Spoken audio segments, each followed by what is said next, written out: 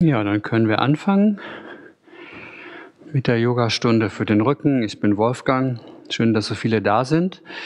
Thema dieser Yogastunde ist ja Yogatherapie und Yoga für den Rücken, besonders bei Stress. Ne? Könnt nun am Anfang in der Rückenlage liegen bleiben für die Anfangsentspannung. Eure Wirbelsäule ist die Symmetrieachse und von der liegen jetzt die Beine gleichmäßig zu den Seiten. Können auch die Füße aufstellen, wenn das angenehmer ist für den unteren Rücken. Und die Arme schräg nach unten. Bildet sich so ein Winkel von etwa 45 Grad zwischen den Rippen und den Oberarmen. Dann sind die Schultern entspannt und der Brustkorb kann sich beim Atmen gut bewegen. Den Hinterkopf noch auf dem Boden spüren. Und wenn das Gesicht nicht ganz gerade nach oben zeigt zur Decke, dann lasst den Kopf liegen und dreht nochmal mit dem Kinn in Richtung zum Hals. Könnt ihr alle mal machen und dann wieder loslassen. Und dann die Augen schließen. Und wenn der Kopf sich dadurch nicht korrigieren lässt und zu weit nach hinten liegt, dann müsstet ihr den unterlagern mit einer mehrfach gefalteten Decke und in besonderen Fällen bei einem sehr starken Rundrücken auch mal ein ganzes Kissen eventuell. Und das hängt auch schon mit diesem Thema Stress unter Umständen zusammen. Ne? Stress bedeutet auch, dass der sich ablagern kann im Körper in Form von Muskelverspannungen. Und die gehen dann auch gerne in den Schulter-Nackenbereich rein und krümmen so etwas diese Struktur. Und wenn also ein Rundrücken entstehen würde, auch aufgrund von Stress, weil man sich zusammenzieht, dann kann so eine Tendenz sein, dass im Liegen auf dem Rücken der Nacken überstreckt ist und dann eine Unterlagerung helfen würde, um besser zu entspannen. Und so kannst du mit jeder weiteren Ausatmung etwas mehr loslassen.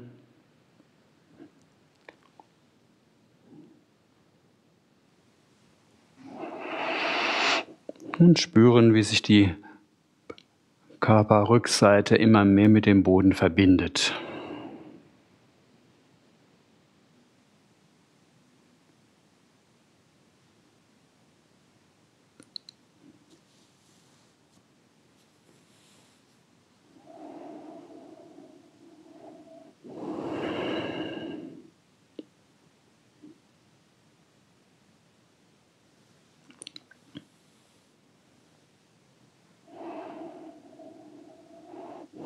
Und dann wieder zweimal atmen, langsam und tief.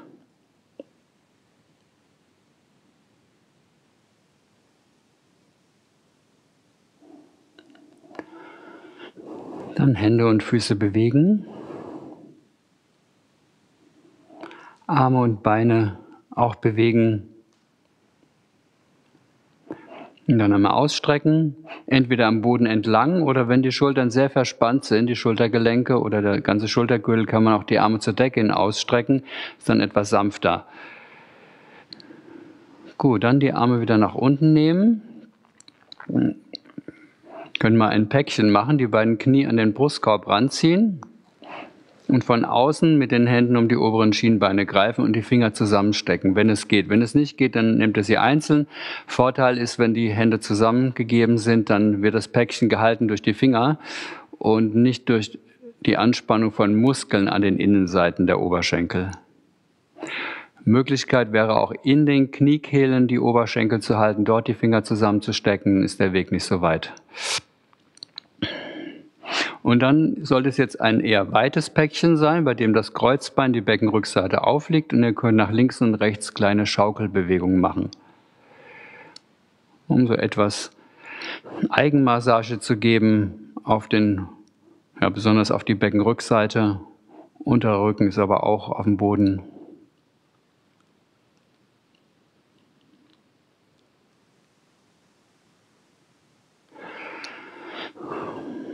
Und dann in der Mitte wieder anhalten und mal kreisende Bewegungen machen. Also die gleiche Handhaltung wie eben auch und dann kleine kreisende Bewegungen machen. Das Kreuzbein ist auf dem Boden als Mittelpunkt.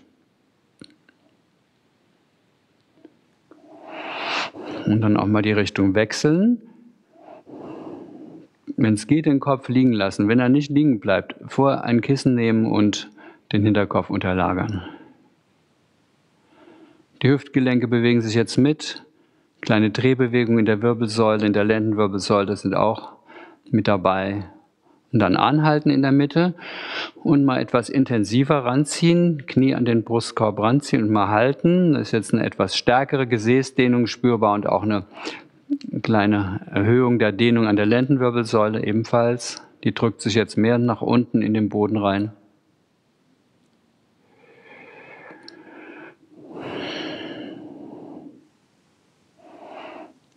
Und dann wieder lösen.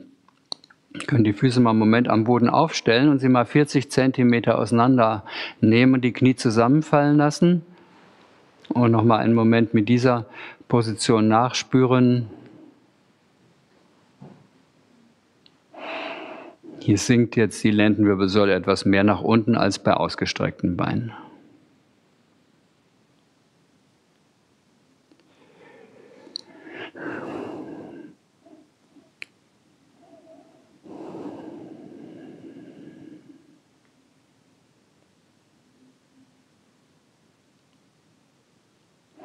Und dann könnt ihr über die Seite jetzt mal zum Sitzen kommen. Entweder kreuzbeinig oder auch besonders günstig Fersensitz einzunehmen. Das Aufrichten der Wirbelsäule fällt besonders leicht in einen Fersensitz. Also für diejenigen, die nicht so sehr beweglich sind. Jedenfalls ist das wichtig. Ähm, ihr könnt auch ein oder zwei Kissen nehmen, sie auf die Matte legen und euch oben drauf setzen. Und die Füße sind dann links und rechts des Kissens. Dann müsst ihr also gar nicht auf den Füßen drauf sitzen. Dabei ist wichtig, dass die Füße gerade nach hinten zeigen, dass sie nicht nach außen zeigen. Die Knie tendenziell dann eher zusammen beim Fersensitz. Wenn sie nicht ganz zusammengehen, dann macht ihr sie parallel etwa die Oberschenkel. Das geht dann auch. Und dann die Handrücken auflegen und den Oberkörper gut aufrichten und die Augen schließen. Dann singen wir gemeinsam. Om.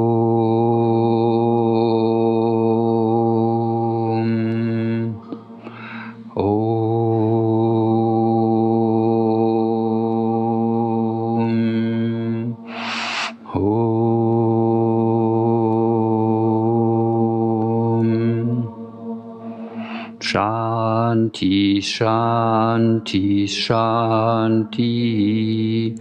Om.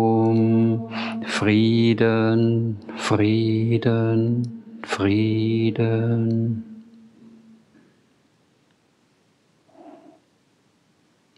Dann könnt ihr jetzt die Augen wieder öffnen und mal eure Hände vor euch aufstützen zu einem Vierfüßler.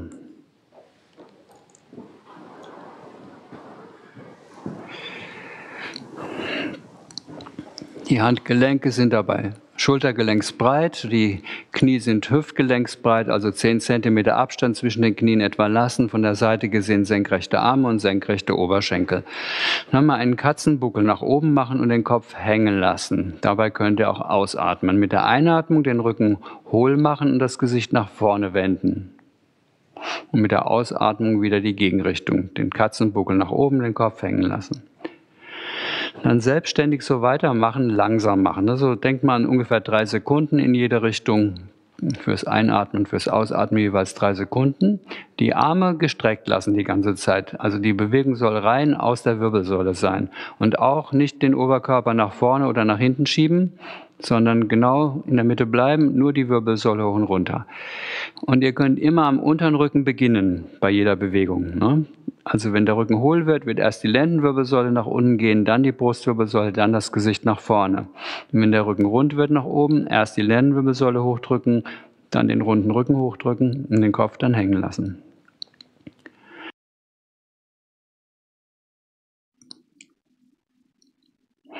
Und das bereitet die Wirbelsäule vor in Richtung Vorwärtsbeuge, Rückwärtsbeuge. Dann anhalten. Nächste äh, Bewegung, das ist eine Seitneigung der Wirbelsäule. In der Seitneigung sieht das so aus, wenn ihr auf den im Vierfüßlerstand seid, lasst ihr euer Becken in der Mitte und bewegt jetzt eure rechte Schulter zur rechten Hüfte, so zur Seite. Ohne dass die Hüfte ausweicht. Eher die Hüfte geht der Schulter entgegen. Und dann geht die linke Schulter nach links zur linken Hüfte. Also ihr versucht immer, die Hüfte der Schulter entgegenzubiegen und nicht auszuweichen. Ne? Das ist nämlich ein häufiger Fehler, den man oft macht, dass man mit der Hüfte zur anderen Seite weggeht. Aber wenn ihr auch nur in der Mitte haltet, das Becken, dann entsteht auch die richtige Bewegung. Und der Kopf kann sich immer mitbewegen in die Richtung, wo die Schulter auch hingeht. Seht ihr auch, wo es lang geht und habt gleichzeitig auch noch eine Neigung in der Halswirbelsäule mit drin. Das ist also die Seitneigung der Wirbelsäule. Dafür beweglich machen auf sanfte Weise. Und dann auch wieder anhalten. Und dann gibt es noch die Drehung der Wirbelsäule. Und bei der Drehung ist es so, da bleibt er auch so aufgestützt. Und wenn jetzt die linke Hand unten bleibt, ist der rechte Arm, der geht so unten durch. In Richtung Boden geht die Schulter. Kopf guckt der Hand hinterher. Derselbe Arm dreht auf, ihr schaut der Hand hinterher. Und dann geht derselbe Arm wieder unten durch. Und dann dreht er wieder auf. Das könnt ihr jetzt so fortsetzen. Den Atem immer fließen lassen dabei. Ist immer wichtig fürs Atmen, die Luft nicht anzuhalten, sondern immer möglichst gleichmäßig und weich weiter zu atmen.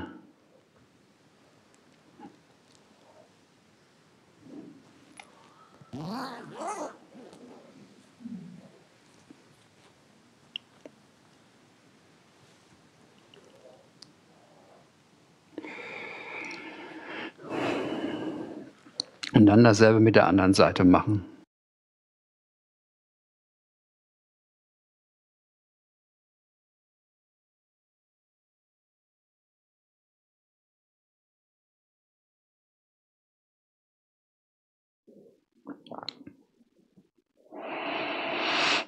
Und dann könnt ihr merken, dass mit jeder Bewegung, die ihr macht,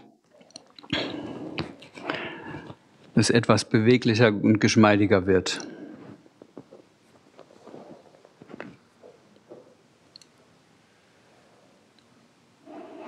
Und diese Drehung der Wirbelsäule, die wirkt besonders günstig auf die Brustwirbelsäule, die wird da gut drehbeweglich gemacht. Und das ist gerade auch beim Rundrücken sehr ein wichtiges Thema. Ne? Ein Rundrücken lässt sich wenig gut drehen und der hängt eben auch, wie gesagt, mit diesem Stress zusammen. Gut, dann könnt ihr es beenden und mal in die Stellung des Kindes nach hinten gleiten. Das Gesäß zu den Fersen und die Stirn am Boden ablegen. Wenn die Stirn nicht zum Boden kommt, könnt ihr zwei Fäuste aufeinander stellen oder wenn ihr nicht so viel Höhe braucht, einfach zwei flache Hände aufeinander ne? und dann obendrauf die Stirn.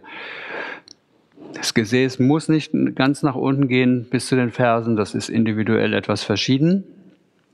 Die Knie können zusammen sein oder auch bauchbreit 30 Zentimeter ungefähr auseinandernehmen. Dann wird die ganze Haltung etwas flacher. So wie es für euch möchtet, könnt ihr es machen. Auch die Arme normalerweise nach hinten abgelegt, könnt ihr aber auch nach vorne ablegen. Und das ist auch eine der beruhigenden Haltungen. Ne? Es geht ja darum, Stress abzubauen. Das sind alle Asanas, in denen in der Hüfte nach vorne geknickt wird, also die Vorwärtsbeugen sozusagen. Jetzt haben wir immer so eine Hüftbeugung nach vorne. Und das hat eine positive Auswirkung auf die Funktionsweise der Nieren und Nebennieren. Nebennieren wird das Adrenalin produziert und durch eine Massage der Nebennieren, die in dieser Weise geschieht, durch ein Drücken sozusagen, durch diesen Hüftknick, ähm, wird diese Produktion heruntergefahren. Weniger Adrenalin und dann auch weniger Stress.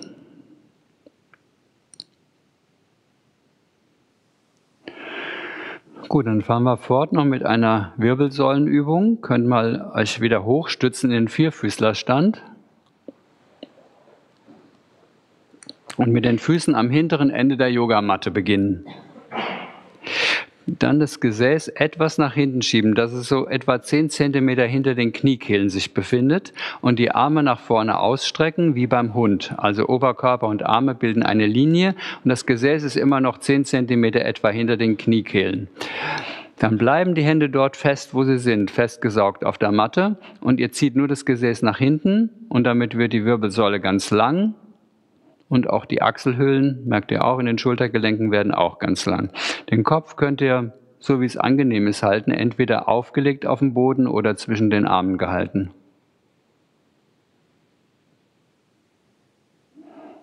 Und spüre noch einen Moment die Länge der Wirbelsäule. Und gleite dann wieder zurück in die Stellung des Kindes. Oder wenn die nicht gut funktioniert, wegen Knieprobleme zum Beispiel, könnte man auch eine Bauchlage einnehmen. Wenn die auch Schwierigkeiten macht, dann wäre es die Seitlage als eine Alternative.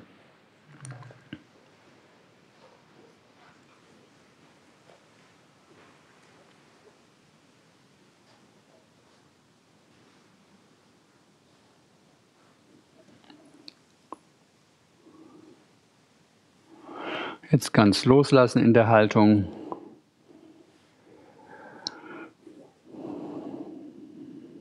Der Atem fließt ruhig.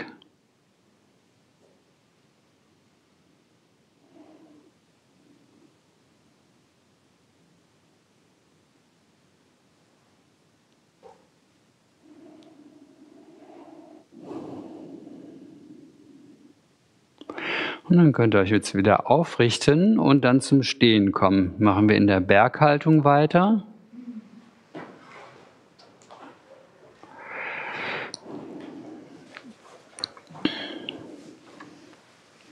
Ja, ein bisschen Luft reinlassen, ist immer ganz gut im Stehen, vor allem wenn wir da diese Phasen dazu nutzen, um mal so eine Stoßlüftung dann zu machen jeweils.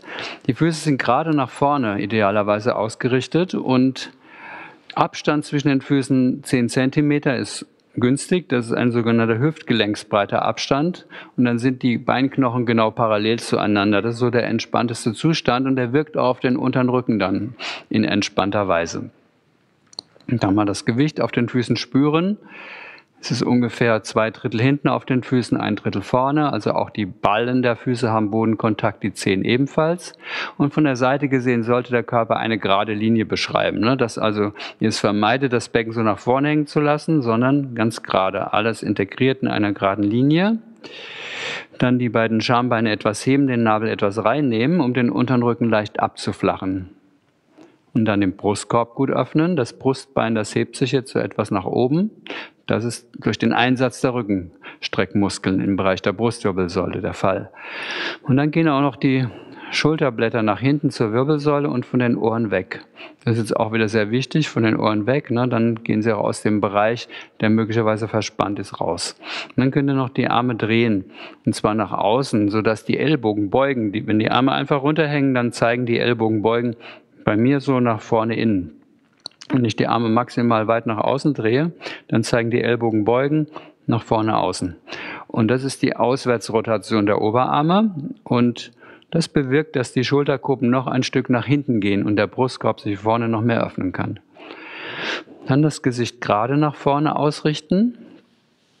Tendenziell das Kinn ein Zentimeter tiefer als man denkt. Ne? Und dann ist der Nacken schön lang. Wer die Augen aufhaben will, kann in Augenhöhe nach vorne schauen präsente Energie gehört immer zu den Haltungen dazu und wer sie geschlossen haben will, kann es auch machen. Und noch einen Atemzug. Normal atmen oder langsam vertieft.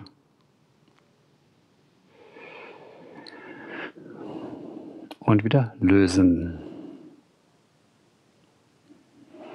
So, in der Berghaltung sind also die Schultern relativ entspannt. Ne? Und wenn die Arme aber nach oben gehen, dann ist es schon unterschiedlich. Ne?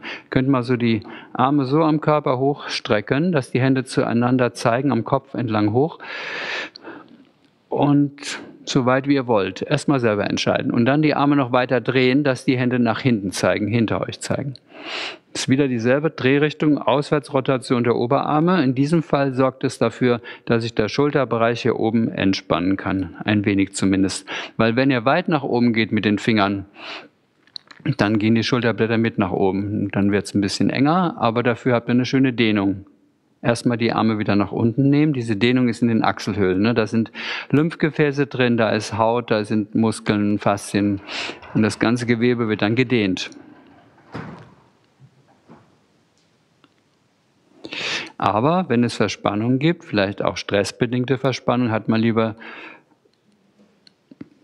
die Arme unten. Also noch einmal, die Arme wieder hochstrecken, Hände zeigen zueinander Die Arme wieder drehen, Handflächen nach hinten, also alles, was wir tun können, Gegenverspannung und dann die Schultern nicht oben, das wäre so, sondern unten, das ist so.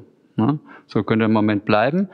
Ihr entscheidet jetzt selber, ob ihr zu denjenigen gehört, die gerade Verspannung haben, dann Schultern unten haben oder eben oben, wenn keine Verspannungen sind. Nochmal genau auf die Drehrichtung der Arme achten. Ne? Also das ist falsch rum, so rum musst du drehen. Ja, so ist richtig. Prima.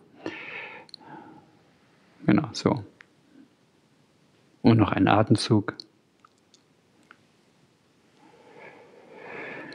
Und wir lösen die Arme dann nach unten nehmen. Das kann sein, dass es eine sehr anstrengende, unangenehme Übung ist, wenn man gerade Nackenverspannung hat. Ansonsten ist sie eher leicht.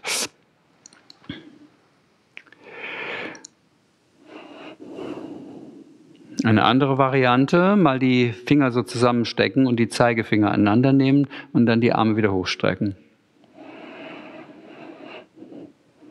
Und dann mal tief atmen, einige Atemzüge machen und mal selber spüren, ist das tiefe Atmen möglich? Könnte auch mit dem Stress eventuell zusammenhängen, dass es nicht so gut möglich ist, weil stressbedingt wird man eher flach atmen und nicht so tief.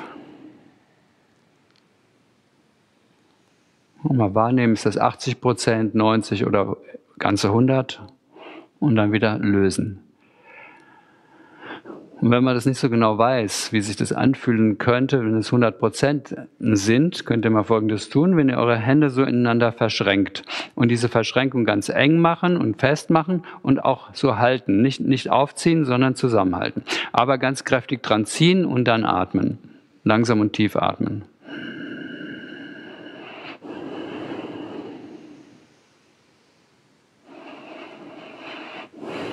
Und wieder lösen. Andere Möglichkeit ist die Hände aneinandersetzen, die Handballen, die Handflächen, die ganzen Handflächen aneinandersetzen und drücken. Entweder so ein bisschen versetzt oder auch direkt aneinander. Ne? Und dann drücken, tief atmen.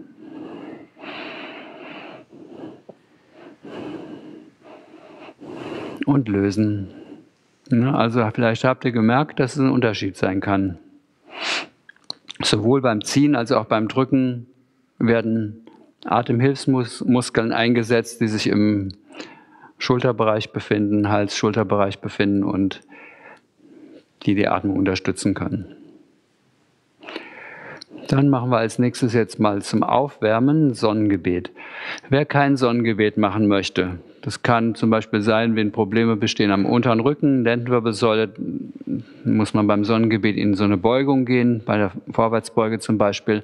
Macht man lieber Gehen auf der Stelle, das wäre eine Alternative, ne? Gehen auf der Stelle machen, wenn ihr das nicht machen wollt mit dem Sonnengebet. Ansonsten für am Anfang der Yogamatte stehen, wer am Sonnengebet teilnehmen möchte.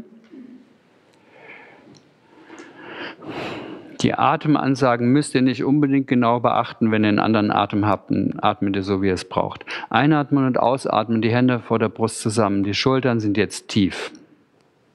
Einatmen, die Arme hoch, ohne Rückwärtsbeuge, nur gerade hoch. Ausatmen, die Hände zum Boden bringen, könnt auch die Knie beugen, um gut runterzukommen und einatmen rechts zurück, Knie zum Boden, wenn es geht. Wenn es nicht geht, bleibt es eben in der Luft, ist dann auch nicht schlimm. Mit dem Luft anhalten, schräge Ebene, beide Füße hinten, ohne durchzuhängen, ist wichtig fürs Becken. Lieber etwas zu hoch das Becken als zu tief. Ausatmen, Knie, Brust, Stirnstellung, Alternative einfach auf den Bauch legen mit den Händen unter den Schultern geht auch. Einatmen, eine flache Kobra, nur aus der Rückenkraft, nicht mit den Armen hochgedrückt.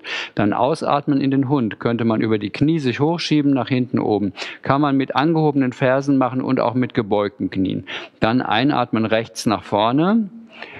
Und wenn es mit einem Schritt nicht geht, nochmal nachsetzen. Ausatmen links nach vorne, stehende Vorwärtsbeuge, gerne auch mit gebeugten Knien. Einatmen mit gebeugten Knien hochkommen, aufrichten, Arme hochstrecken, ausatmen, Arme senken. Einatmen und ausatmen, die Hände vor der Brust zusammen. Einatmen, die Arme nach oben gerade hoch, ohne Rückwärtsbeuge. Ausatmen, die Hände zum Boden bringen. Einatmen, links zurück in den Sprinter. Möglichst kein spitzes Knie nach vorne und den Brustkorb öffnen, deshalb der Blick nach vorne. Mit dem Luft anhalten, schräge Ebene, beide Füße hinten, ohne durchzuhängen. Ausatmen, Knie, Brust, Stirnstellung. Oder man könnte auch das Kinn aufsetzen, ne? also wenn das für den Rücken wichtig ist. Einatmen, wieder nach oben in die Cobra kommen. Ausatmen, weiterschieben in den Hund.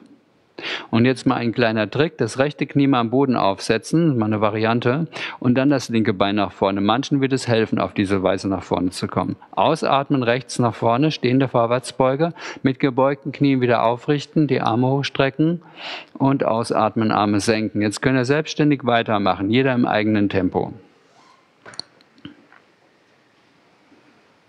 Jetzt könnt ihr gut den Atem koordinieren mit den Bewegungen.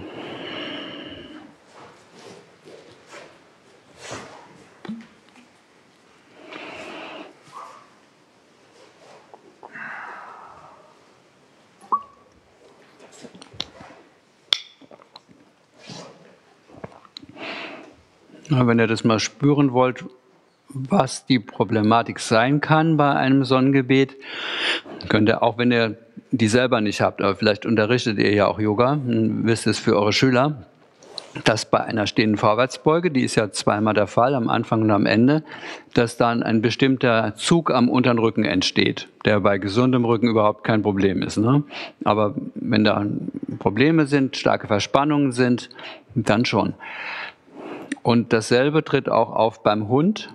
Na, wenn man versucht, den Hund mit gestreckten Knien zu machen, dann ist es auch eine Spannung am unteren Rücken und beim Sprinter ebenfalls. Das betrifft aber Teilnehmer, die wenig beweglich sind. Wenn man sehr beweglich ist, dann ist das alles völlig problemlos. Selbst bei Rückenbeschwerden wird es dann auch eher ohne Probleme gehen.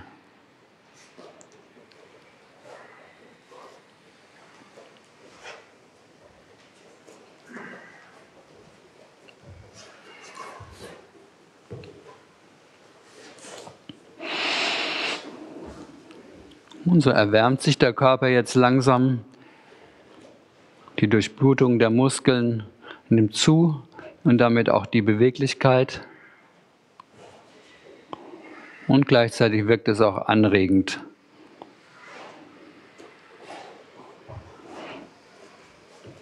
Anregend heißt, dass auch die Bereitschaft, sich jetzt für die Asanas zu engagieren, steigt.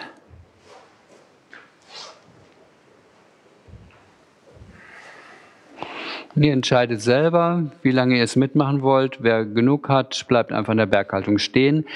Es gilt für alle Asanas. Ne? Immer nur so weit mitmachen, wie es für euch gut ist.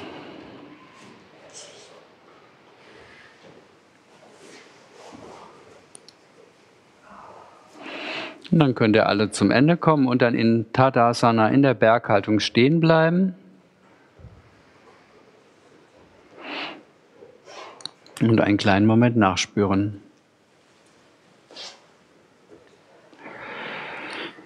Dabei den Atem wahrnehmen, der sollte dann langsam wieder ruhiger werden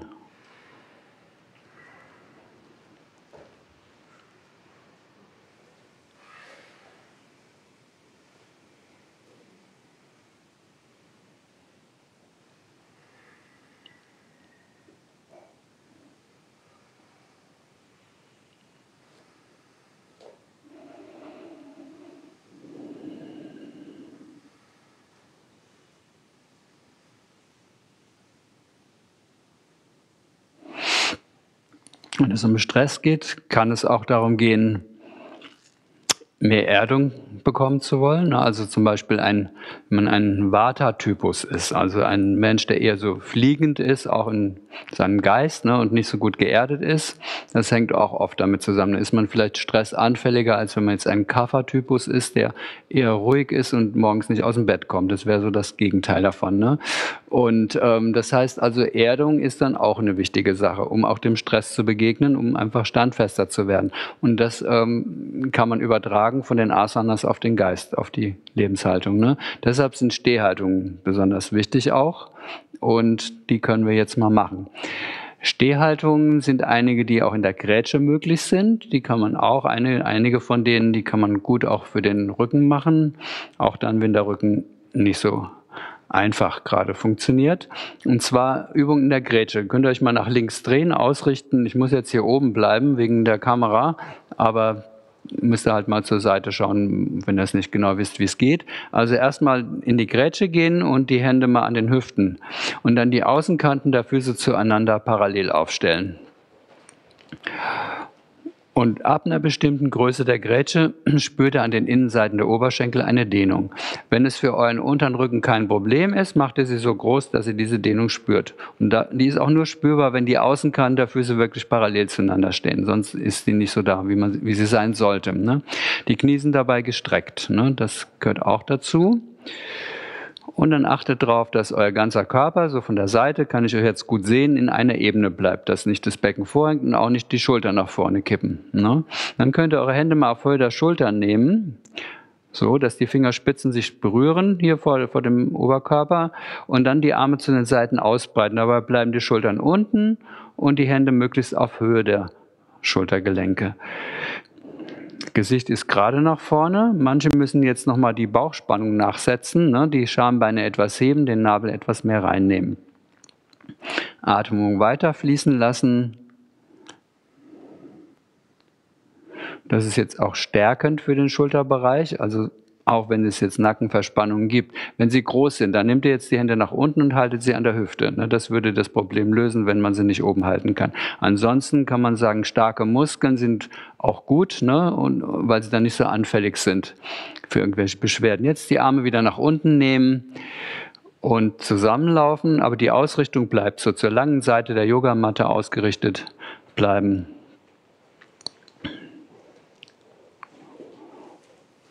Und die nächste Haltung, das ist jetzt der Held 2, den kann man auch gut ausführen, weil man da frei ist in der Bewegung. Also ihr könnt so beginnen, dass ihr gleich von Anfang an eure Hände auf Höhe der Schlüsselbeine etwa nehmt, Handflächen zeigen zum Boden, Fingerkuppen sind zusammen und dann geht ihr in eine Grätsche gleichzeitig mit dem Ausbreiten der Arme zu den Seiten. Und dann dreht ihr mal euren linken Fuß um 10 Grad nach innen und den rechten um 90 nach außen. Und dann beugt ihr euer rechtes Knie. Maximal ist das rechte Knie dann über der Ferse, nicht weiter nach vorne schieben, kein spitzes Knie machen. Der Abstand kann eine eigene Beinlänge sein. Bei Problemen am unteren Rücken kann es auch weniger sein. Wenn man fortgeschritten ist, kann es auch ein bisschen mehr sein. Es gibt eine Spur, wenn man von vorne nach hinten schaut, ist die Spur Ferse auf Ferse zu stehen. Die Ausrichtung in der Asana ist, den ganzen Oberkörper oder ja, den ganzen Oberkörper, Becken und Schultern parallel zur langen Yogamattenseite auszurichten. Dazu müsst ihr versuchen, eure linke Hüfte mehr zurückzudrehen und die linke Schulter auch. Und wichtig für das Knie, das rechte Knie muss einen Druck nach rechts, nach außen haben. Nur so weit bis da, wo der Fuß steht, aber in Richtung nach außen. Zum Schutz des Kniegelenks. Kopf ist gedreht jetzt zur kurzen Seite der Yogamatte, Altarwand ausgerichtet. Und erstmal wieder nach oben kommen, aufrichten, Arme senken, Füße parallel. Ihr könnt in der Grätsche bleiben oder kurz zusammenlaufen, wie es für euch passt. Dann machen wir die zweite Seite. Ihr könnt die Arme wieder ausbreiten zu den Seiten und dann den rechten Fuß nach innen drehen um 10 Grad und den linken um 90 nach außen drehen. Ferse auf Ferse stehen, linkes Knie beugen. Knie ist maximal wieder über der Ferse und die rechte Hüfte und Schulter drehen jetzt zurück. Das linke Knie drückt nach links, nach außen. Der Kopf ist nach links gedreht über die linke Hand hinaus. Hier die beiden Schambeine mal etwas anheben und dadurch wächst der Oberkörper noch einen Zentimeter nach oben. Das ist sehr wichtig für die Haltung. Dadurch wird sie lebendig, energetisch. Und wenn ihr das rechte Knie strecken könnt, dann streckt es ganz.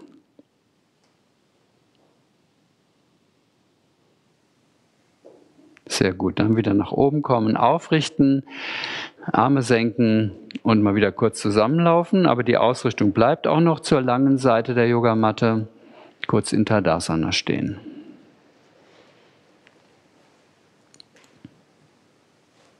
Können noch mal kurz äh, die Türen aufmachen, noch ein bisschen Luft reinlassen, solange wir noch am Stehen sind. Nachher ist dann wieder am Boden unten.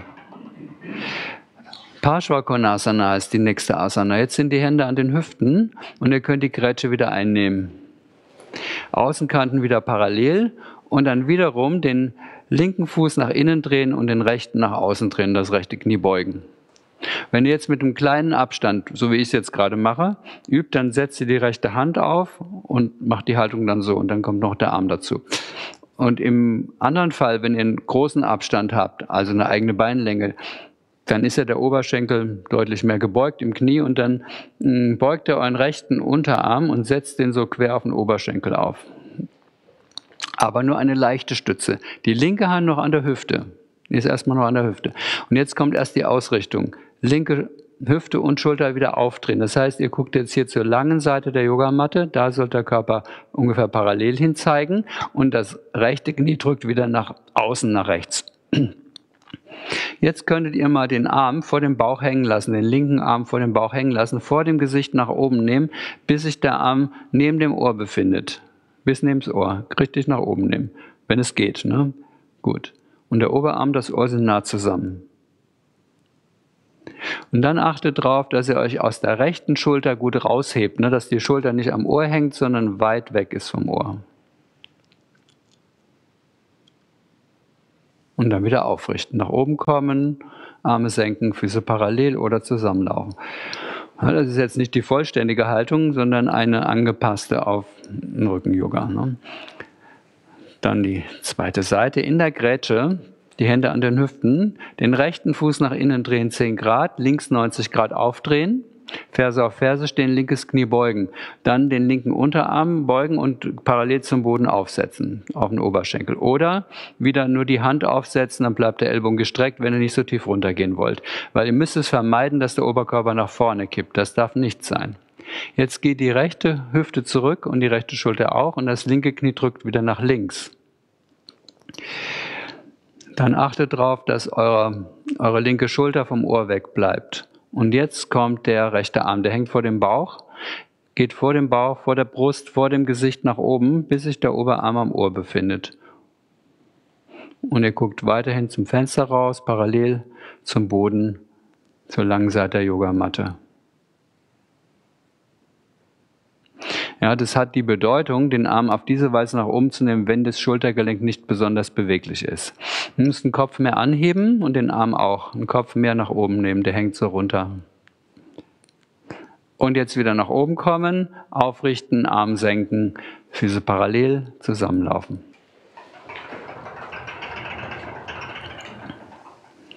Gut.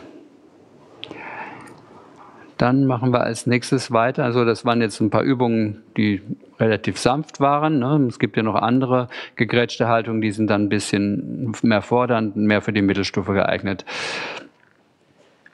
So, das war jetzt quasi zum, zur Erdung, ne? um, um mit Stress besser umgehen zu können, also mehr Erdung zu bekommen.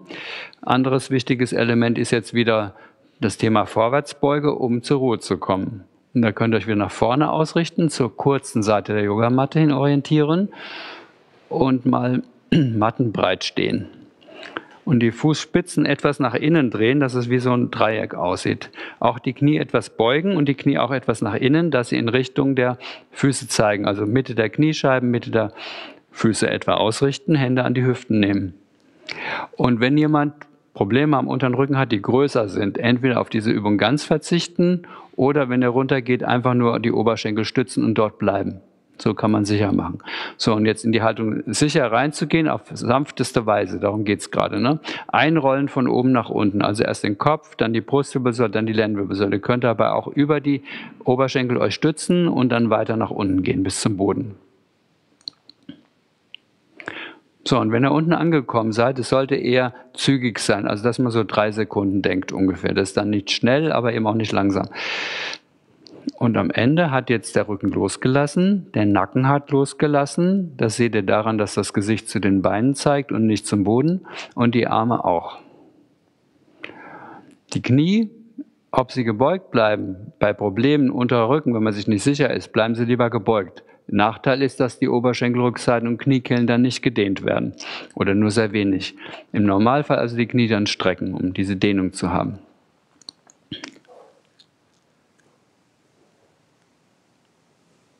Das Gewicht sollte so verteilt sein, dass jetzt die Hälfte vorne auf den Füßen ist, also etwas mehr vorne als in Tadasana. Da war es ja ungefähr ein Drittel, hier ist es schon die Hälfte. Und so könnt ihr die Dehnung an den Beinrückseiten spüren und auch die Dehnung der Wirbelsäule. Der Kopf hängt runter ne, und das ist also auch wieder dieser Hüftknick, der sich jetzt wieder günstig auswirkt auf die Nebennieren und dort eben wieder Adrenalinproduktion hemmt und deshalb zur Beruhigung beiträgt.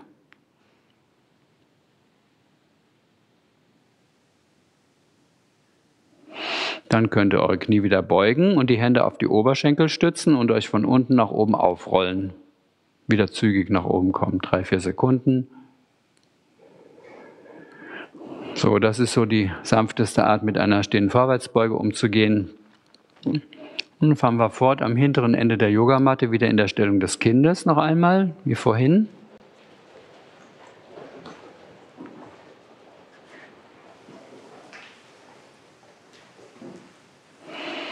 Gesäß sinkt wieder nach unten in Richtung zu den Fersen.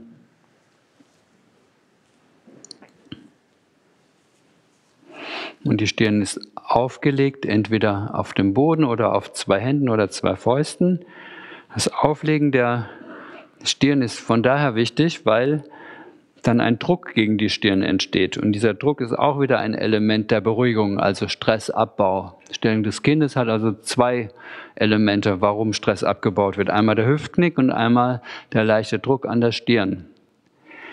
Wenn man das vergleicht mit einer sitzenden Vorwärtsbeuge, da haben die meisten Teilnehmer nur den Hüftknick und den auch oft nur unvollkommen, weil eben bei gestreckten Beinen man gar nicht so weit nach vorne kommt aus der Hüfte. Manche können es sehr gut und manche eben nicht so gut. Ne? Und der Kopf liegt dann auch nur bei denjenigen am Boden oder auf den Beinen auf, die super flexibel sind, bei den anderen nicht. Und dann fehlt dieses Element Druck an der Stirn, um das Gehirn zu beruhigen. Und hier kann es im Grunde jeder haben, gegebenenfalls eben mit Unterstützung, wenn dann so zwei Fäuste aufeinander sind und oben aufgelegt wird.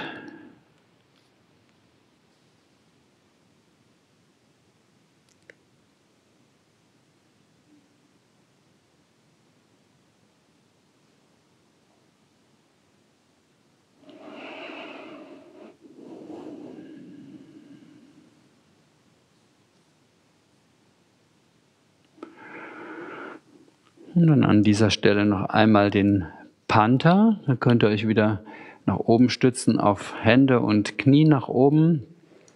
Am hinteren Ende der Yogamatte beginnen, damit ihr genügend Platz nach vorne habt, weil sollten ja Füße und Hände auf der rutschfesten Matte am Ende sein. Und die Arme nach vorne ausstrecken, wie beim Hund, ganz lang ausstrecken. So von der Seite gesehen sind dann die Arme und der Oberkörper eine Linie. Und wenn ihr sehr flexibel seid, dann drückt nicht eure Schultern zum Boden runter, sondern habt sie so weit angehoben, dass es wirklich eine Linie ist und nicht so nach unten durchhängt. Ellbogen sind dabei gestreckt und vom Boden abgehoben. Jetzt bleiben die Hände, wo sie sind und das Gesäß zieht nach hinten. Dann wird die Wirbelsäule lang. Der Kopf kann eine möglichst bequeme Position einnehmen. Entweder er liegt auf oder er schwebt zwischen den Armen.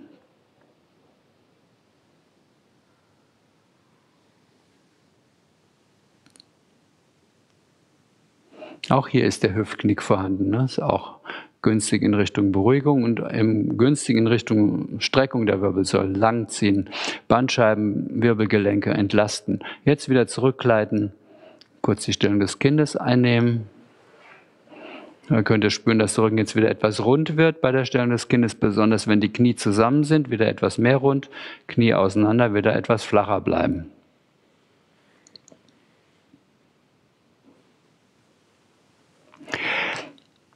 Was ihr auch korrigieren könnt in der Stellung des äh, Kindes, und zwar, wenn ihr das Gefühl habt, euer Kopf hängt zu sehr runter, also ist nicht harmonisch die ganze Wirbelsäule in einem Bogen, sondern der hängt zu stark runter, dann würde es helfen, die Knie etwas auseinanderzunehmen. Dann wird es etwas flacher, die Position der Schultern zum Boden. Dann hängt er nicht so sehr. Und wenn es das Gegenteil ist, dass ihr das Gefühl habt, euer Kopf ist zu weit nach hinten gebogen, der Nacken überstreckt, dann wäre es etwas günstiger, die Knie zusammenzunehmen. Dann würde er mehr ins Hängen kommen. So, und jetzt könnt ihr euch auf den Bauch legen. Das macht ihr einfach so über die Unterarme oder über die Hände nach vorne und auf den Bauch ablegen. So dass das Gesicht nach vorne zeigt zum Altar. Und einen Moment, die Bauchentspannungslage soll ja auch mal richtig entspannend sein zwischendrin. Kann man auch mal zwei Übungen nacheinander machen, die zur Ruhe führen und eben Stress abbauen. Hier ist ungünstig, das Kinn aufzulegen. Günstig ist die Stirn oder eine Wange.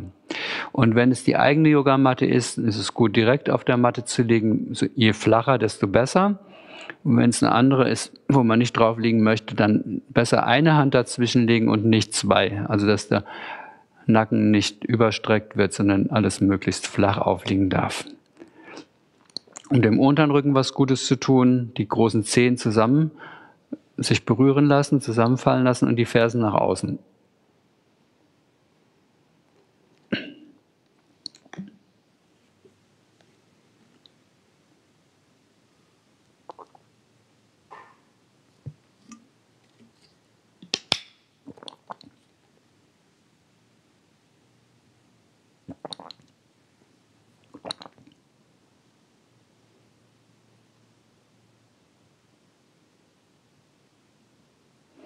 Und wer nun eine Wange gewählt hat, kann auch mal die andere Wange auflegen. Das ist dann die ungewohnte Seite und dann merkt man auch so die Gewohnheiten und dass sich das eine wahrscheinlich sehr angenehm erstmal angefühlt hatte und dieses vielleicht schon deutlich weniger.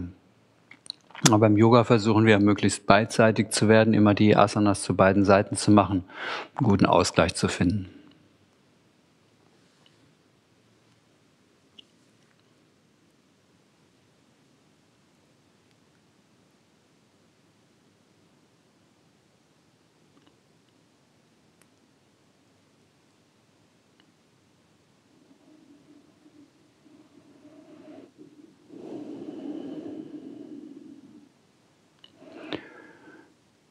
Gut, dann gehen wir als nächstes mal weiter zu einer Cobra. Da könnt ihr eure Hände mal unter den Schultern jetzt aufstellen, sie so weit zurückziehen, dass eure Fingerkuppen und Schulterkuppen auf gleiche Höhe kommen.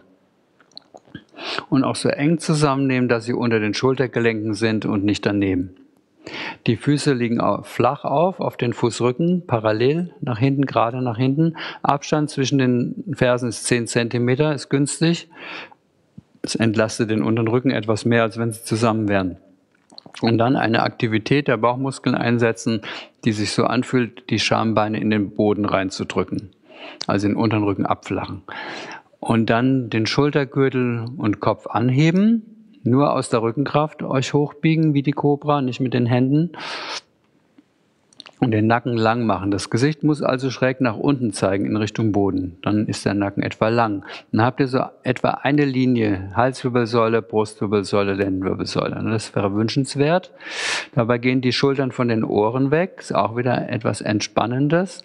Und um den Brustkorb vorne schön zu öffnen, nehmt ihr eure Ellbogen an die Rippen ran. Atem geht weiter.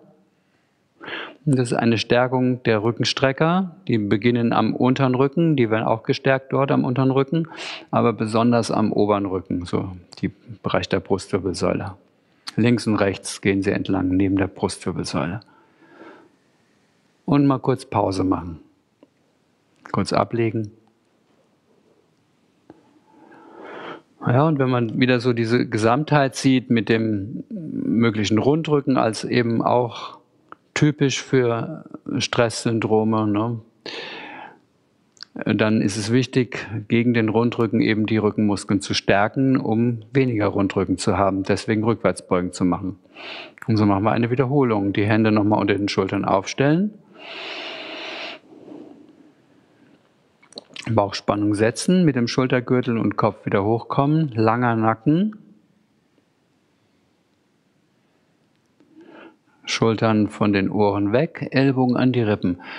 Und wer besonders viel jetzt tun will, kann sich über die Hände mehr nach vorne ziehen. Also die Hände kleben ja fest, wo sie sind. Und wenn Sie jetzt eigentlich zu den Füßen wollen, aber nicht können, dann führt es dazu, dass euer Brustkorb nach vorne in Richtung Altar sich bewegt und sich mehr öffnet für eine noch vertieftere Atmung.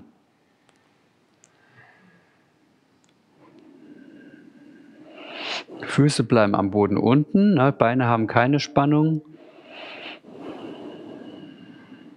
Und dann ablegen, wieder Pause machen nochmal.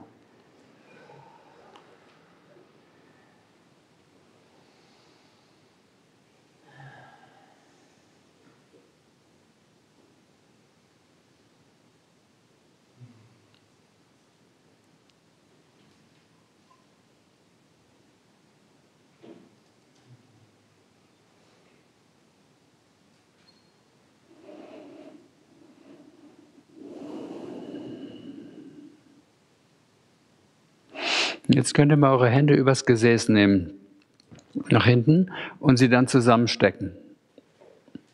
Alle Finger zusammenstecken, über dem Gesäß und dann wieder in eine Cobra-Variante kommen, also euch nach oben ziehen und mit den Händen und den Armen könnt ihr jetzt unterschiedliche Dinge tun. Also wer wenig beweglich ist, wird die hm, Hände mit den Handballen nicht zusammenkriegen, wird die Ellbogen auch nicht strecken und vielleicht die Hände auf dem Gesäß lassen.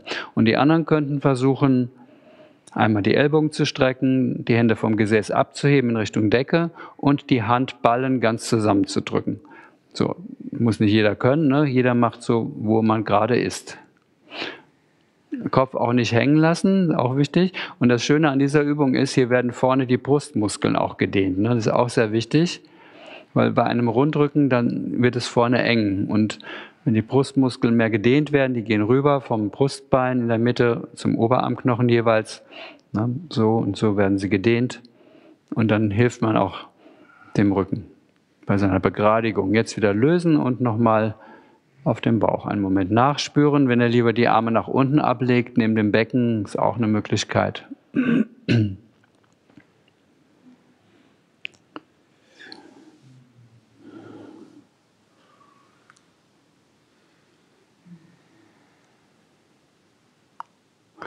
Allein das Beschäftigen mit dem Körper ne, in Asanas ist ja schon stressabbauend, dass man überhaupt mal so Abstand nimmt vom Geist ne, und mehr an den Körper, sich auf den Körper konzentriert mit den Details in den Ansagen, diesen zu folgen, dann ist auch der Geist nicht mehr beschäftigt mit den Dingen, die ihn vielleicht gestresst haben, sondern ist genau fokussiert auf die Übungen, die Bewegung. Deshalb ist es auch gut, so vielfältige Ansagen zu machen. So könnt ihr jetzt nochmal, um allgemein den Rücken zu stärken und auch Gesäß- und Oberschenkelrückseiten, mal einen Vogel machen. Die Arme nach unten nehmen. Hände sind jetzt neben dem Becken. Und dann hebt ihr alle möglichen Körperteile an.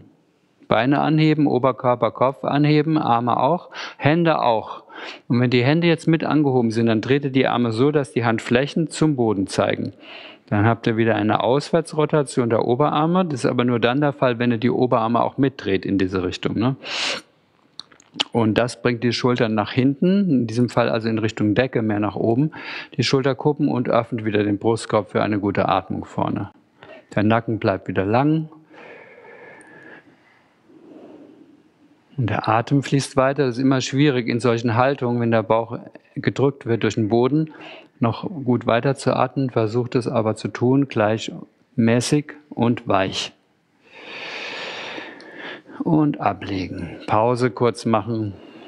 Sehr gut.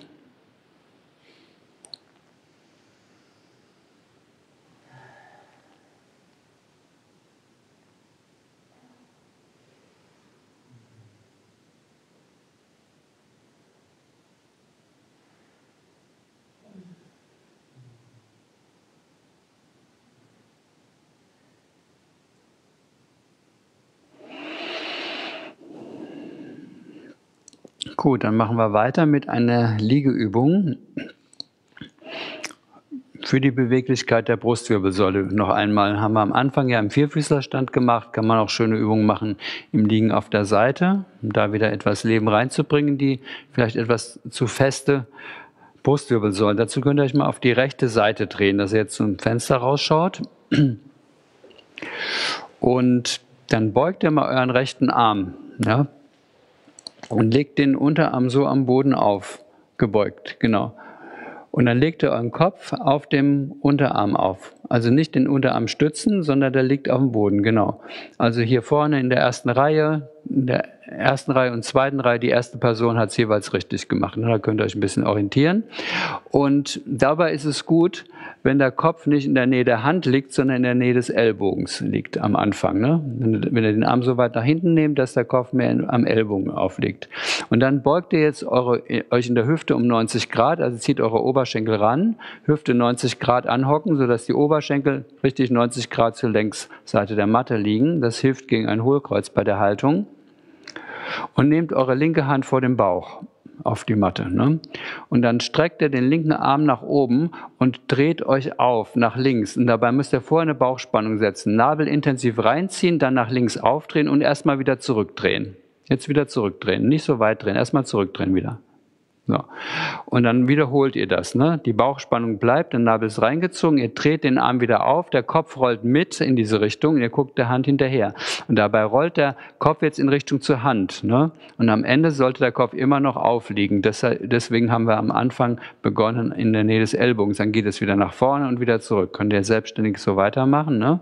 Also macht es so, dass euer Kopf möglichst die ganze Zeit gestützt ist. Anfang in der Nähe des Ellbogens, am Ende wenigstens noch von der Hand eben gestützt ist. Ne? Und auch die beiden Beckenhälften, die bleiben genau übereinander senkrecht, ne? die verschieben sich nicht, die Knie verschieben sich demnach auch nicht. Und ihr könnt nur so weit gehen, wie das dann möglich ist. Ne? Und die ganze Zeit den Nabel reingesaugt halten. Und so bringt ihr, habt ihr einen guten Schutz für den unteren Rücken, für die Lendenwirbelsäule und kriegt viel Drehung in die Brustwirbelsäule rein, macht sie damit beweglich. Gut, wenn der Arm jetzt wieder vor euch ist, könnt ihr kurz anhalten, kleinen Moment mal auf der Seite das nachspüren.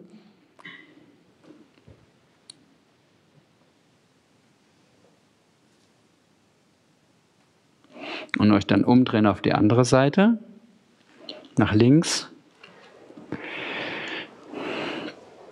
Und den Kopf wieder stützen, jetzt auf dem linken Arm. Dabei muss der linke Ellbogen gebeugt sein, ne, dass ihr in der Nähe des Ellbogens wieder aufgelegt seid. Die Knie anhocken auf 90 Grad, anhocken. Knie sind auch gebeugt, in der Hüfte 90 Grad, Nabel reinsaugen. Und dann geht der rechte Arm jetzt nach oben, der Nabel bleibt reingesaugt und ihr dreht wieder auf. Der Kopf rollt wieder auf dem Unterarm bis zur Hand, dann dreht er zurück. Die Hand ist wieder vor dem Bauch und der Kopf ist wieder in der Nähe des Ellbogens. Und so könnt ihr einige Wiederholungen machen. Den Atem auch immer weiter fließen lassen.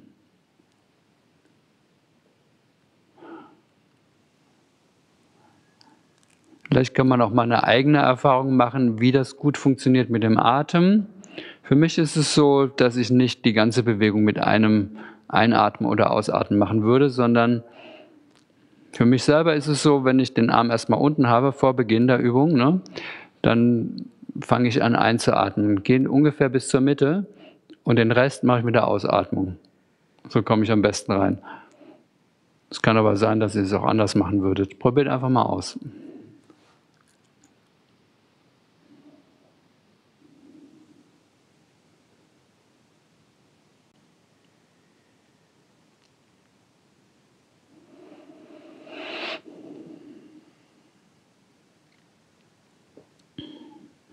Gut, und dann, wenn ihr wieder angekommen seid, könnt ihr wieder auf der Seite nochmal liegen bleiben und einen Moment nachspüren.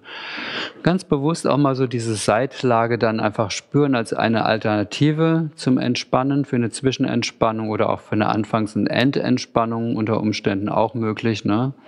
sodass jetzt euer, eure linke Wange zum Beispiel von den beiden Händen, die unten drunter liegen, gestützt wird oder eben von einem Arm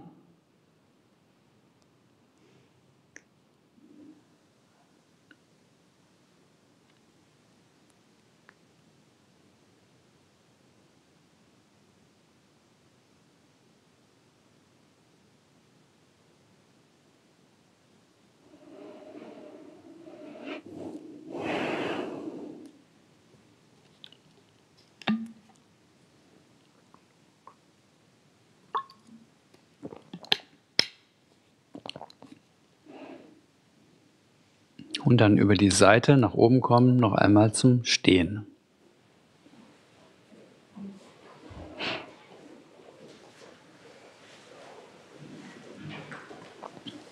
Ja, könnt ihr ein bisschen Luft vielleicht nochmal gerade reinlassen für eine Minute.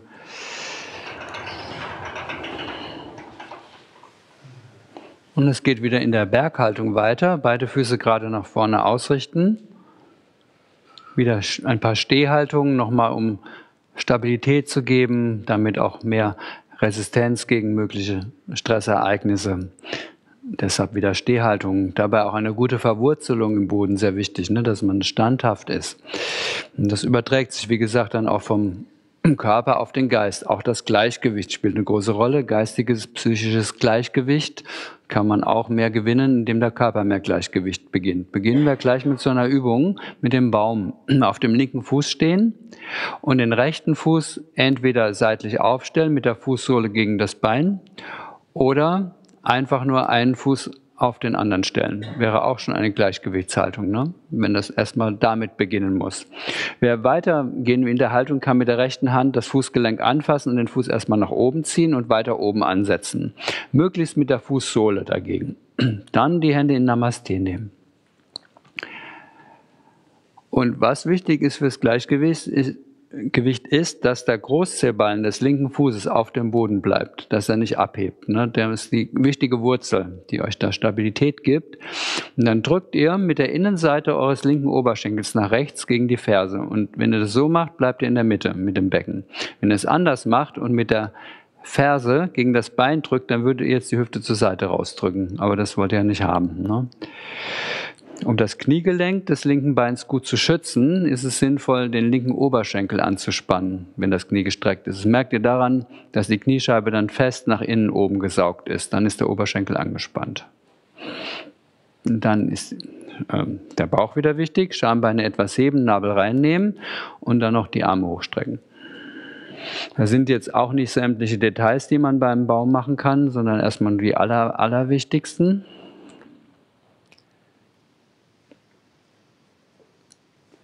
Die Augen sind auf und ihr guckt in Augenhöhe, nicht zum Boden. Versucht mal zur Wand zu schauen, geradeaus nach vorne, einen Punkt anschauen, der eurem Gleichgewicht hilft. Und dann beenden die Seite. Und dann auf dem rechten Fuß stehen, wieder den Großzehballen besonders gut erden und die Fußsohle des linken Fußes dann seitlich aufstellen wieder. Könnt wieder mit der Hand am Fußgelenk den Fuß nach oben ziehen und Fußsohle an die Innenseite stellen oder wieder eine andere Variante, Fußspitze auf den anderen Fuß einfach draufstellen. Hände sind dann in Namaste. Nun wieder das rechte Bein ganz strecken, den rechten Oberschenkel anspannen. Und der Druck geht jetzt von der Innenseite des rechten Oberschenkels nach links gegen die linke Ferse, um zu verhindern, dass das Bein runterrutscht. Ne? Wenn ihr noch ein weiteres Detail einbauen wollt, dann versucht mal euer Becken genau gerade nach vorne auszurichten. Das bedeutet, die linke Hüfte mehr nach vorne drehen und das linke Knie gleichzeitig mehr nach hinten. Das wird dann schon anspruchsvoll. Bauchspannung setzen und wer mag, die Arme hochnehmen. Wer das nicht machen will, zum Beispiel weil die Schultern verspannt sind, könnte auch ganz locker und mühelos die Hände vor dem Brustbein halten.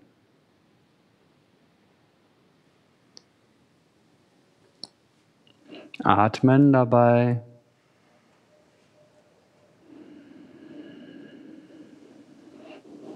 Und lösen. Tadasana, die Berghaltung wieder einnehmen.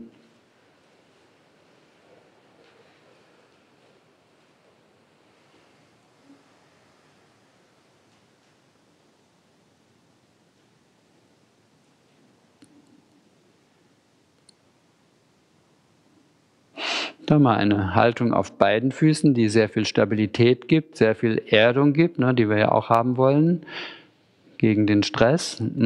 Die Arme nochmal hochstrecken. Und dann in so eine Hocke gehen, Utkatasana, die Stuhlhaltung, sehr stabile Haltung auf beiden Füßen. Die können so bis zu 20 Zentimeter auseinander sein, gerade nach vorne, Knie zeigen auch gerade nach vorne. Der Oberkörper ist mehr gerade. Wenn es für die, für die Arme, Schultern wieder zu, an, zu anspruchsvoll ist, dann haltet ihr die Arme unten. Ne? Dann ist es so.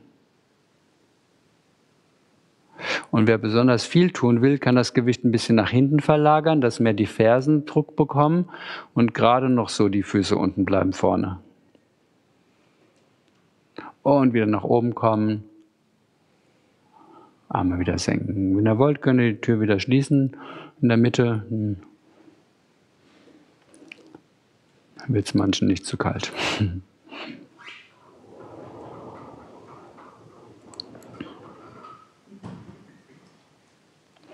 So, dann eine besondere Übung jetzt für den Schulterbereich, nämlich eine Dehnungsübung, die auf mögliche Verspannung, die man dort hat, eine starke Dehnung draufsetzt, um diese Verspannung zu lösen. Da ist der Adler eigentlich die allerbeste Yoga-Übung, die man machen kann. Dazu immer die Arme ausbreiten zu den Seiten. Und beim Über Handflächen nach vorne ne, und dann überkreuzen mit links oben, bis die Ellbogen ganz eingehakt sind. Das ist dann so. Die Handkanten nach vorne ausrichten, dass die von euch weg zeigen. Wenn ihr wenig beweglich seid bezüglich dieser Übung, dann wird das so bleiben. Dann versucht ihr die Handrücken ein bisschen zueinander und dann ist wahrscheinlich Ende. Wenn ihr beweglicher seid, nehmt ihr die Hände so zusammen, Handflächen. Ne? Gut, und Jetzt kann man auf beiden Füßen stehen bleiben, ist eine Möglichkeit, ist etwas sanfter. Wer gerne noch Gleichgewicht wieder reinbringen will, würde jetzt auf dem linken Bein stehen, das linke Bein beugen und den rechten Oberschenkel vorne übersetzen, ganz aufdrücken und versuchen mit dem Fuß zu der Wade zu gelangen, entweder seitlich anlegen oder dahinter einhaken. Körper möglichst gerade nach vorne ausrichten. Da, wo die Fußspitze hin zeigt, sollte auch quasi 90 Grad dazu das Becken orientiert sein. Die Unterarme in der Mitte halten, vor der Nase. Und von der Seite sind die Unterarme so, senkrecht. Ne? Also nicht so Hände an der Stirn, sondern senkrecht. Und das dehnt jetzt quer rüber über die über den Schulterbereich von einer zur anderen Seite. Und dann erstmal beenden. Habt ihr gemerkt, intensive Dehnung? Mhm. Gut, machen wir die zweite Seite und wieder ausbreiten. Ins rechts oben, einhaken, kleinen Finger zeigen von euch weg, wenn möglich die Hände zusammennehmen, wenn es nicht geht, dann nicht. Und dann stehen auf dem rechten Fuß, rechtes Knie beugen und den Oberschenkel wieder ganz dicht aufsetzen. Ne? Das sind zwei ganz wichtige Bedingungen, damit es gelingen kann. Das Standbein muss gebeugt sein, das Knie. Und der andere Oberschenkel muss ganz aufgeschoben sein auf den Oberschenkel des Standbeins. Dann kann man versuchen, mit dem Fuß zur Wade des Standbeins zu gelangen. Wer jetzt in der Haltung noch etwas mehr Dehnung haben will an den Schultern, müsste die Ellbogen nach vorne bewegen, nach oben und gleichzeitig die Schulterblätter nach unten. Dann wird es sehr viel mehr. Nur wenn man es will, wenn man es braucht. Nochmal die Dehnung spüren, quer rüber von einem Schulterblatt zum anderen. Und lösen. Tadasana, die Berghaltung wieder einnehmen.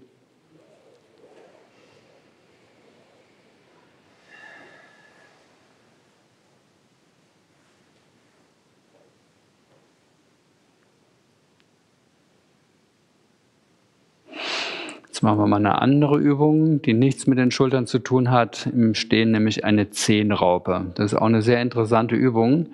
Nicht nur, weil sie wichtige Muskelgruppen stärkt, sondern weil man da auch mal erfahren kann, dass man eine Bewegung macht mit den Zehen und die aber in den ganzen Körper hineinwirkt, nämlich stärkend wirkt. Aber dazu erstmal, wie es funktioniert und dann kommen weitere Erklärungen. Also ihr steht in der Berghaltung und müsstet am besten neben der Matte stehen, also so dass ihr gleiten könnt mit den Füßen, weil die rutschfeste Matte würde sonst verhindern. Und dann steht er in der Berghaltung, die Füße gerade nach vorne, die können zusammen sein oder 10 cm auseinander, vielleicht 10 cm auseinander am besten. Und dann beim rechten Fuß mal die Zehen hochbiegen. Die Ballen bleiben aber unten, die Ballen der Füße. Dann die Zehen nach vorne, einkrallen, kräftig einkrallen und den Fuß vorziehen. Und dann die Zehen wieder ausstrecken. Jetzt kommt der linke Fuß. Zehen hoch, Zehen nach vorne einkrallen und vorziehen und wieder ausstrecken. Und dann wieder rechts und immer so weitermachen. Ein Fuß nach dem anderen. Und sollte es euch nicht gelingen, euch nach vorne zu ziehen, es wäre auch nicht so schlimm, weil es kommt nicht darauf an, ob man mit zweit nach vorne kommt, sondern dass diese Krallbewegung eine, äh, intensiv ist. Ne? Und ob das funktioniert, das könnt ihr auch ausprobieren. Und zwar, wenn ihr eure Daumen nehmt und legt die hier links und rechts der Lendenwirbelsäule auf diese Muskelstränge auf, auf diese Rückenstrecker. Und in dem Moment, wo man einkrallt, müsste dieser Muskelstrang etwas anspannen. Und wenn der andere Fuß dran ist, dann ist es der andere. Könnt ihr es mal probieren, ob ihr das fühlen könnt. Wenn nicht, dann machen wir nochmal eine Übung dazwischen, um das noch besser spüren zu können. Okay, machen wir mal diese Zwischenübung. Ne? Das heißt, jetzt könnt ihr ganz normal stehen, nichts weiter machen, einfach nur in der Berghaltung stehen, ohne besondere Ausrichtung, normales Stehen. Ne? Und wenn ihr jetzt so gerade steht, dann haben diese Rückenstrecker hier eine bestimmte Spannung. Individuell können, kann das weich sein, hier diese Muskeln, oder die können auch hart verspannt sein. Hart wäre ungünstig. Ne? Also nehmt mal eure Daumen drauf und fühlt mal, wie sich das anfühlt, ob sich das hart anfühlt oder weich. Und was, ich, was hart ist, das würdet ihr dann merken, wenn ihr so steht und den erstmal normal geraden Oberkörper etwas nach vorne kippt, also sowas macht. Das reicht schon. Dann werden die hart, weil die sofort anspannen, sonst würde man gleich nach unten runterkippen. Merkt ihr den Unterschied? Ne? Also einfach mal so machen, dann merkt ihr, das ist ein Unterschied. Wenn ihr den merkt, ist es sehr gut, weil dann ist es nicht so hart, auch wenn ihr normal steht. Ne? Kann auch sein, dass beides ganz hart ist, weil sie vorverspannt sind am unteren Rücken. Ne? So, also wenn ihr das so gemerkt habt, den Unterschied, dann könnt ihr versuchen, denselben Unterschied zu spüren, wenn ihr die Zehenraupe macht. Ne? Also einen Fuß heben einkrallen und in dem Moment, wo die einkrallen, also hier nicht nach vorne kippen, hier muss ihr gerade bleiben, sonst würde, die, sonst würde das auftreten, weil, weil ihr kippt und nicht, weil die, die Zehen einkrallt. Ne? Ja, dann könnt ihr es ein paar Mal machen.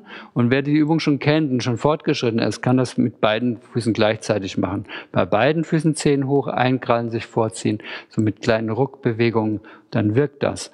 Weil das sind, wie gesagt, Muskeln, die sitzen in den Füßen, in den Unterschenkeln und über Muskelketten geht das weiter in den unteren Rücken und wirkt dort stärkend. Das wirkt sogar bis in die Arme hinein. Letzten Endes, also, dass man in den Unterarmen eine stärkere Kraft entwickeln kann, um, um die Finger mehr stärker zu beugen.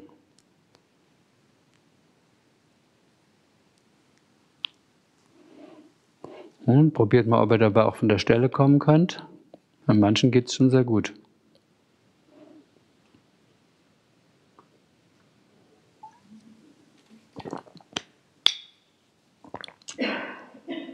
Gut, dann wieder anhalten. Machen wir nochmal eine Übung, die wiederum so den Schulterbereich betrifft. Na, der ist ja so im Vordergrund, wenn es um das Thema Stress geht. Dann meistens setzt sich das oben fest. Es kann aber auch der Unterrücken sein, dass sich Stress am unteren Rücken festsetzt. Ne? Hier nochmal die Schultergelenke. Ja, wenn ihr die Arme mal hochstreckt, so wie wir es vorhin gemacht haben, und ihr könnt die Arme neben die Ohren nehmen und alles ist gerade, und das ist gut. Wenn das nicht geht, dann sieht es vielleicht so aus. Oder die Ellbogen sind gebeugt, dann ist es so.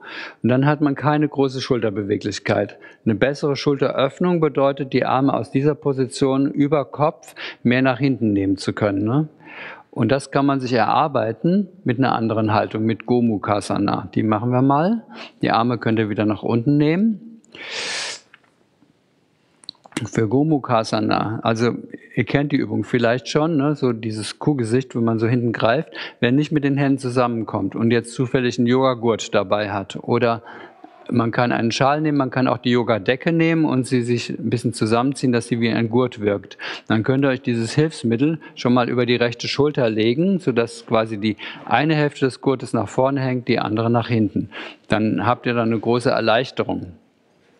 So, und jetzt beginnt das so. Ne? Ihr habt auf der rechten Schulter den Gurt liegen und streckt den linken Arm jetzt alle zur Seite aus. Handfläche nach hinten, Ellbogen beugen und auf den Rücken und möglichst weit oben den Gurt greifen. Dann geht der andere Arm, der rechte Arm hoch, beugt sich und ihr greift möglichst weit unten den Gurt. Dann habt ihr so einen Abstand überbrückt durch den Gurt. Und dabei diesen rechten Ellbogen möglichst senkrecht nach oben führen, so am Ohr entlang. Wenn das nicht geht, kann sein, dass es nicht geht. Vielleicht geht er nach vorne oder zur Seite. Das wäre dann, wenn es eine Einschränkung eben in, im Gelenk gibt oder wenn der Rundrücken vorliegt. Der Rundrücken würde auch den Ellbogen so nach vorne oder zur Seite biegen. Ne? Also soweit es eben geht. Gerade wenn es nicht geht, ist auch okay. Dann ist es erstmal so. Und das dehnt jetzt bei eurem linken Arm da dehnt es den Oberarm und die Schulterkurve. Das ist so die Hauptdehnung, um die es geht. Beim rechten Arm ist es die Rückseite, die wird auch gedehnt, die, der Trizepsmuskel, auch ein Anteil. Und jetzt erstmal wieder beenden. Und dann könnt ihr das auf die linke Schulter rüberlegen. Jetzt kommt die Seite, die für die meisten schwieriger ist. Ne? Jetzt den rechten Arm ausstrecken, Handfläche nach hinten drehen Ellbogen beugen und wieder versuchen zu greifen. Wenn man jetzt nicht weit nach oben kommt, kann die linke Hand die rechte Hand nehmen und sie etwas hochschieben. Dann geht es leichter. Linker Arm hoch, beugen und dann eben wieder das Hilfsmittel greifen, wenn ihr eins habt. Die Ausrichtung ist wie in der Berghaltung, also ganz gerade stehen, Gesicht bleibt gerade nach vorne, Hals ist entspannt, Gesicht ist auch entspannt. Und der Ellbogen wieder möglichst senkrecht hoch. Ne? Und eben so viel Abstand machen zwischen den Händen wie nötig. Das kann auch sehr weit sein. Ne? Die Hände können als Hilfsmittel auch so greifen. Das kann so sein auch. Ne? Je nachdem, wie die Beweglichkeit da gerade ist. Hier auch die Bauchspannung bedenken, ne? kein Hohlkreuz machen, ist immer mit dabei. Und die Seite dann auch beenden und die Arme nach unten nehmen.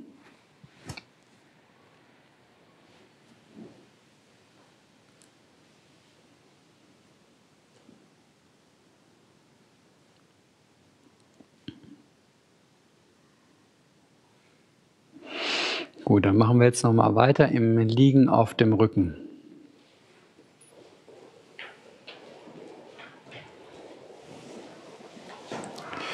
Da geht es auch noch mal darum, ne, wenn, wenn wir den Rundrücken sozusagen mehr begradigen wollen, dann geht es auch darum, die Bauchmuskeln etwas zu dehnen. Ne? Wenn die verkürzt sind, die Bauchmuskeln, dann ist man so nach vorne gekrümmt. Das begünstigt den Rundrücken. Und damit der sich mehr auflösen kann, mehr lang werden kann, muss man auch die Bauchmuskeln vorne gut dehnen. Und das könnt ihr dann im Liegen auf dem Rücken machen. Vielleicht machen wir kurz dann die Tür wieder zu vorher noch und im Liegen auf dem Rücken, da könnt ihr mal eure Arme nach oben nehmen und jeweils den anderen Ellbogen greifen, wenn das geht. Ne? So. Und dann die Arme am Boden ablegen. Wenn das schwierig ist, dann streckt ihr die Arme einfach aus, dann greift ihr nicht die Ellbogen. Aber es sollte möglichst so sein, dass die Arme oder eben die gebeugten Arme auf dem Boden aufliegen, ober, oberhalb des Kopfes. Ne? Wenn es geht. Wenn es nicht geht, macht er was anderes. Die Beine ausgestreckt, beide Füße flexen. Damit ist jetzt gemeint, die Füße zu kippen in Richtung zu den Kniescheiben hin sodass ihr jetzt eure Fersen rausschieben könnt. Ja? Jetzt intensiv die Fersen rausschieben, nicht die Fußspitzen rausschieben, sondern die Fersen. In die andere Richtung die beiden Ellbogen rausschieben. Und dann werden in beide Richtungen ganz lang. Ja? Und wenn es geht, das Gesäß anspannen und einige Atemzüge langsam und tief. Wenn es für den unteren Rücken schwierig ist, weil er zu hohl wird, mit Gesäßspannung macht er eben weniger. Und da könnt ihr auch spüren, dass der Bauch gut gedehnt wird. Ne? So vom, vom Becken zum Brustbein hoch, diese geraden Bauchmuskeln, die werden jetzt länger. Und das ist eine sehr sanfte Weise, sie zu dehnen. Dann lösen und jetzt mal die Arme andersrum legen, also dass der andere Unterarm oben drauf liegt. Einfach die Überkreuzung der Unterarme wechseln. Die Beine wieder strecken, die Füße flexen, Fersen rausschieben, Ellbogen in die andere Richtung rausschieben und gegebenenfalls Gesäß anspannen, einige Atemzüge langsam und tief machen, Streckung des ganzen Körpers spüren, insbesondere eben auch die Dehnung der Bauchmuskeln spüren.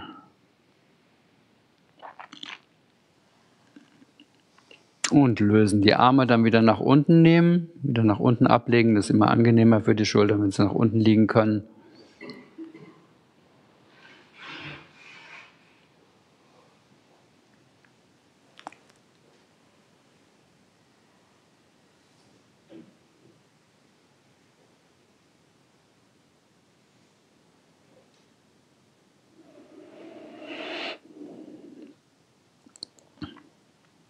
Besonders wichtig, eben um zur Ruhe zu kommen, dem möglichen Stress zu begegnen, falls er überhaupt jetzt noch da ist. Vielleicht ist er schon längst gegangen noch ein paar Übungen der Ruhe, bevor dann die Shavasana kommt, damit eben Shavasana auch gut gelingt. Deswegen nochmal beruhigende Übungen machen, bevor dann die tiefen Entspannung kommt. Und das kann man gut im Liegen auf dem Rücken machen. Eine der Übungen ist jetzt ähm, ein liegender Schmetterling. Könnt mal beide Füße am Boden aufstellen und die Fersen dann ans Gesäß rannehmen. Und dann die Fußsohlen aneinander setzen und die Knie nach unten sinken lassen. Also die Fußsohlen sind ganz flächig aneinander. Ne? Großzehballen sind zusammen, Kleinzehballen auch und die Kanten der Füße liegen am Boden auf. Die Arme können wie in der Berg, äh, wie in, in Shavasana, in der tiefen Entspannung zu den Seiten liegen. Aber ist auch ähnlich wie in der Berghaltung. Und dann könnt ihr erstmal eure Knie einfach loslassen oder einfach die in der Hüfte loslassen. Das sind ja kurze Adduktorenmuskeln, die von, dem, von den Schambeinen jeweils zur Mitte des Oberschenkelknochens reichen. Und wenn die zu verspannt sind, angespannt sind, dann sind eure Knie jetzt weit vom Boden weg. Das heißt zum Beispiel 30 Zentimeter. Ne? Wenn sie lang gedehnt sind, dann sind sie vielleicht nur 10 Zentimeter entfernt vom Boden.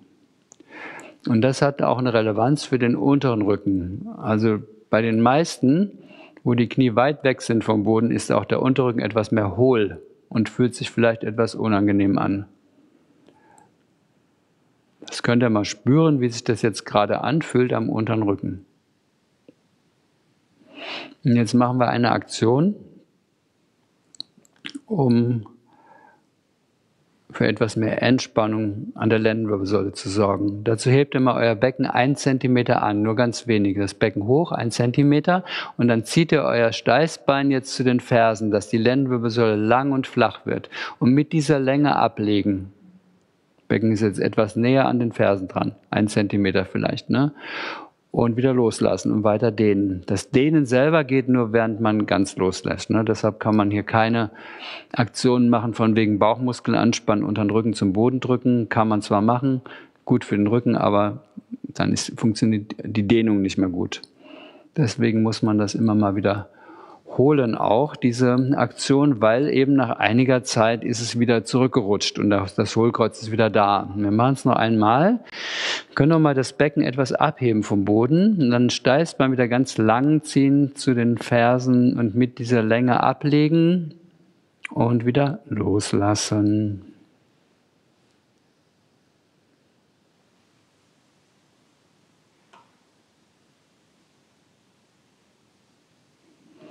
Der Atem fließt gleichmäßig und weich.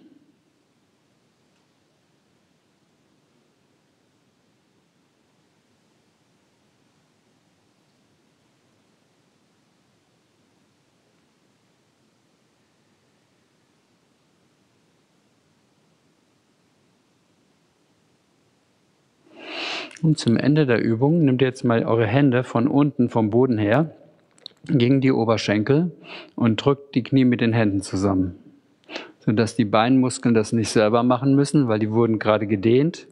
Deshalb sollen sie lieber entspannt bleiben. Dann die Füße so aufgestellt lassen am Boden, noch einen Moment nachspüren in dieser Haltung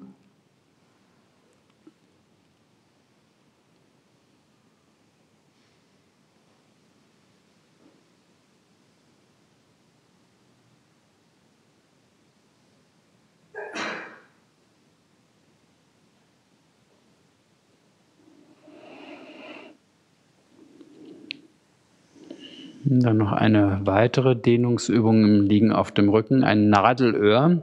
Das dehnt dann Gesäßmuskeln und Oberschenkelmuskeln.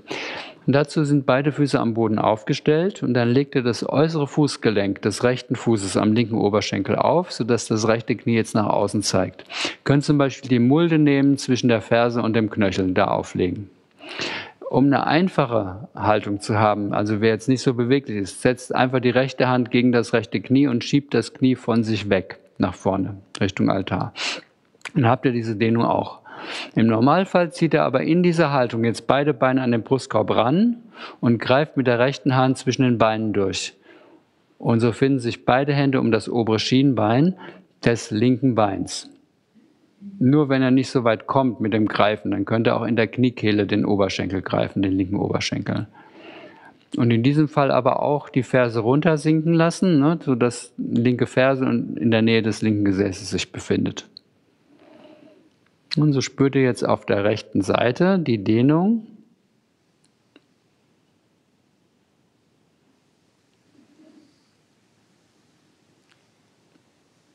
Diese Dehnung ist am Gesäß, Oberschenkel, hinten außen, so in diesem Bereich spürbar. Das ist eine sogenannte Hüftöffnungsübung. Wenn man jetzt fortgeschritten wäre und einen Lotussitz üben möchte, ne, dann ist das eine hinführende Übung dafür.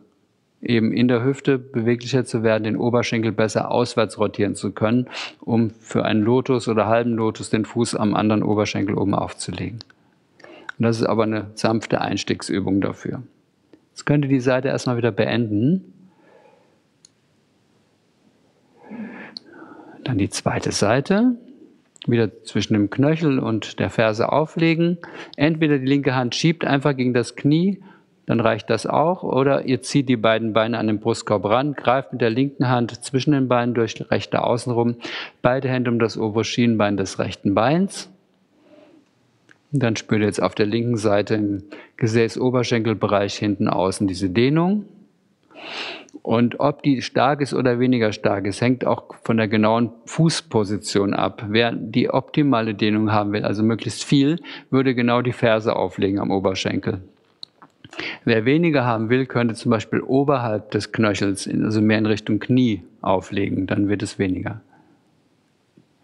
Wenn der Kopf zu weit nach hinten gedreht ist, dann wäre es sinnvoll, die Übung zu beenden, ein Kissen zu nehmen und den Hinterkopf oder eine mehrfach gefaltete Decke und dort aufzulegen. Ne? Weil bei solchen Übungen dreht sich oft der Kopf noch weiter nach hinten als im normalen Liegen auf dem Rücken. Und dann auch diese Seite beenden. Und noch einmal kurz nachspüren. Entweder streckt ihr die Beine aus oder lasst die Füße aufgestellt.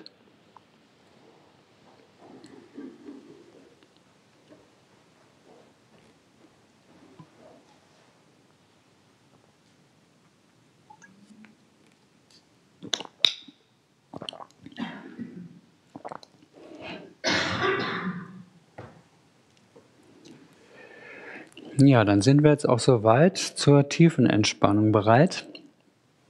Das heißt, ihr könnt euch erst nochmal vielleicht die beiden Türen oder alle drei Türen mal kurz aufmachen, so für eine Minute, um nochmal frische Luft reinzulassen. Das ist auch wichtig für die Tiefenentspannung. Mit mehr Sauerstoff gelingt sie besser.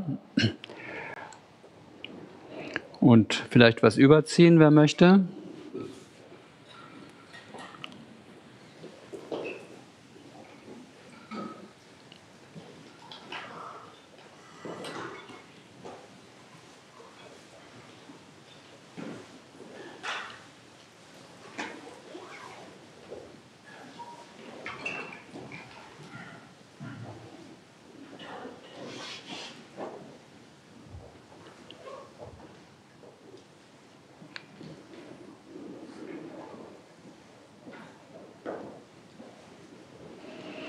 Und dann könnt ihr die Türen wieder schließen.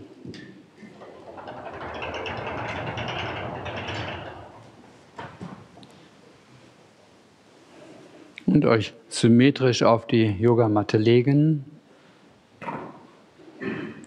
Habt wieder die Wahl, entweder die Beine ausgestreckt oder die Füße am Boden aufgestellt, Knie zusammenfallen lassen. Das sind die Füße dann 40 cm auseinander. Oder auch eine Seitlage einzunehmen, wenn das jetzt im Moment günstig ist. Die Arme liegen wieder leicht schräg nach unten, sodass die Schultern entspannt sein dürfen und der Brustkorb sich gut bewegen kann. Dabei die Arme auswärts rotieren, ist im Grunde dasselbe wie in der Berghaltung auch.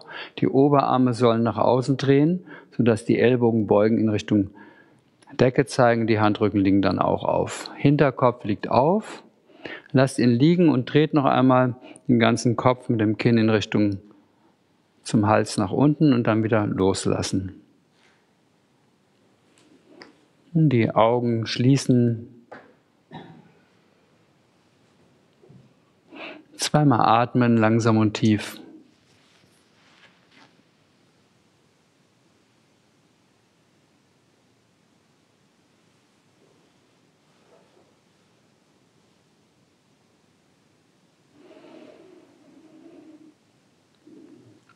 Und mit jeder weiteren Ausatmung sinkt die Körperrückseite immer mehr zum Boden.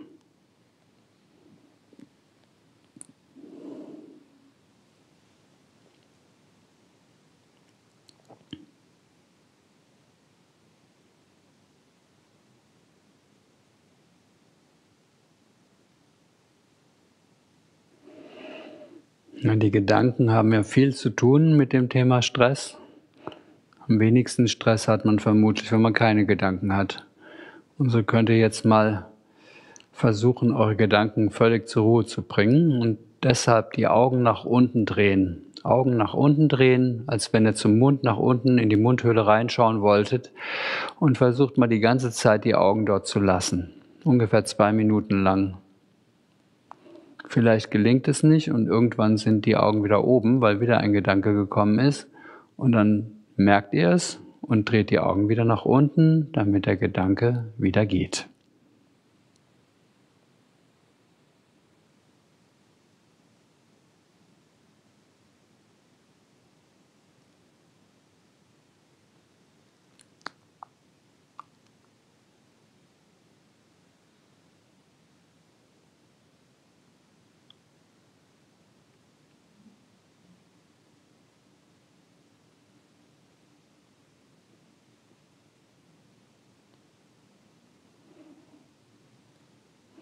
Die Augen nach unten gedreht.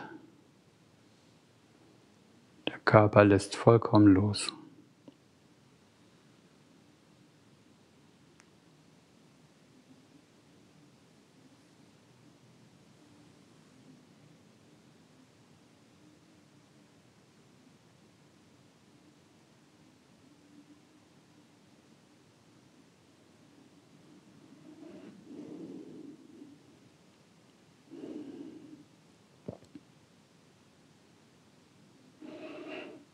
Und dann nimm die Augen wieder in die normale Position.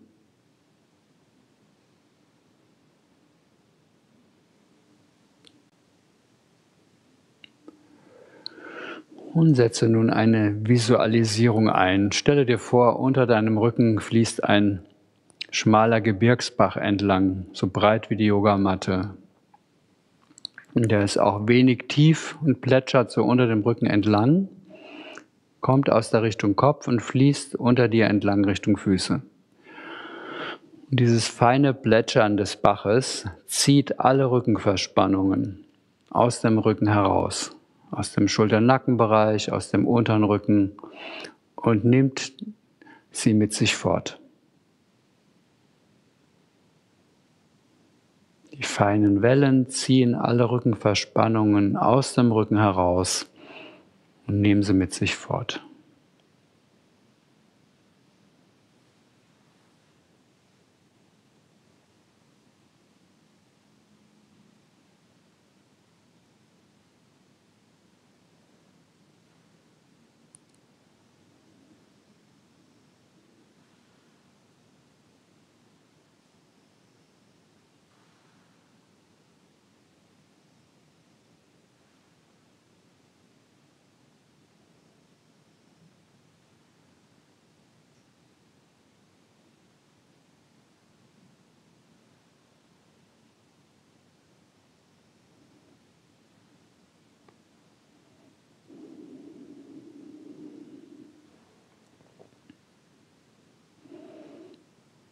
Und dann kannst du noch eine weitere Entspannungstechnik einsetzen.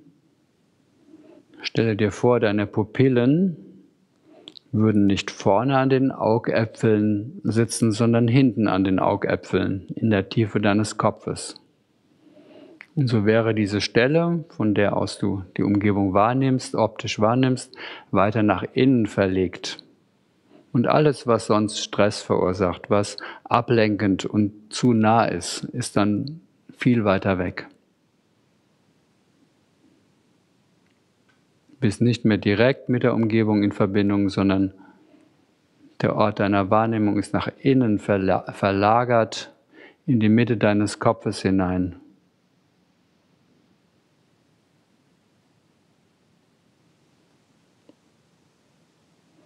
Du bist ganz in deinem Inneren, in deiner Ruhe.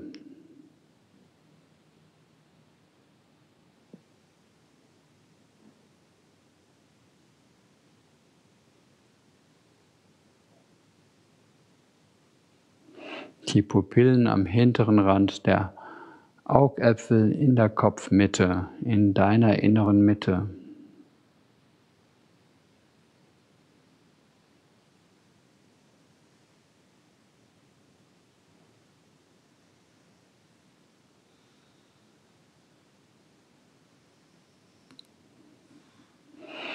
Und dann nehmen wir wieder die normale Vorstellung ein. Die Pupillen sind wieder vorne an den Augäpfeln.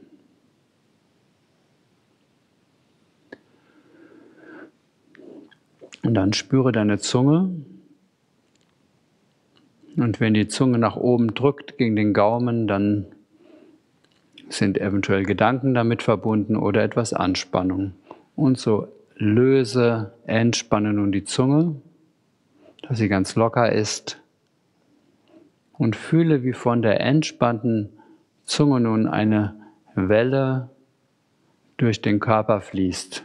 Diese Entspannungswelle fließt von der gelösten Zunge durch den Hals, die Schultern, Oberarme, Unterarme, Hände und Finger.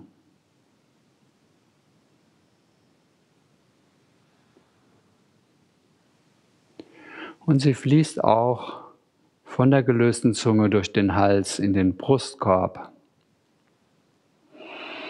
Von dort weiter in den Bauchraum, den Beckenraum, die Oberschenkel, Unterschenkel, Füße und Zehen hinein.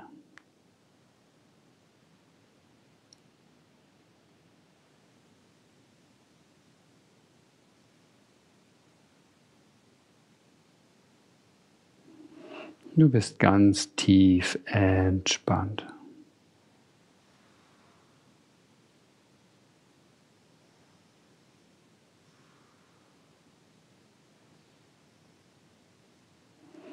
Eine tiefe Ruhe durchströmt dich.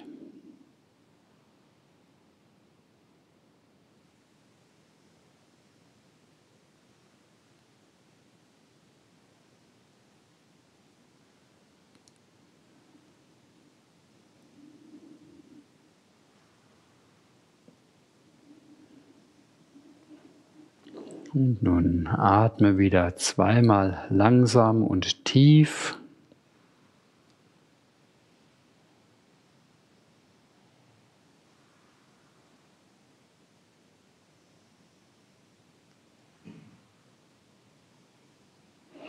Dann beginne mit kleinen Bewegungen der Hände und der Füße.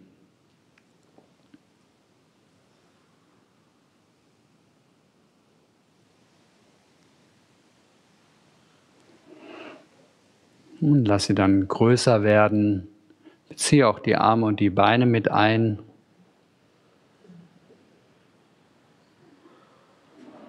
Und am Ende mal ausstrecken, entweder am Boden entlang oder zur Decke nach oben ausstrecken.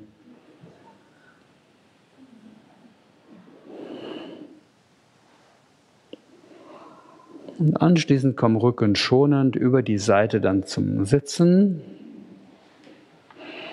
Wenn du möchtest, nimm dir wieder Kissen, um höher zu sitzen.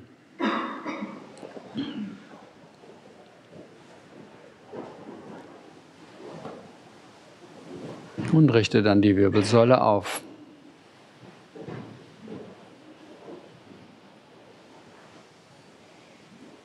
Dann schließe die Augen. Oh.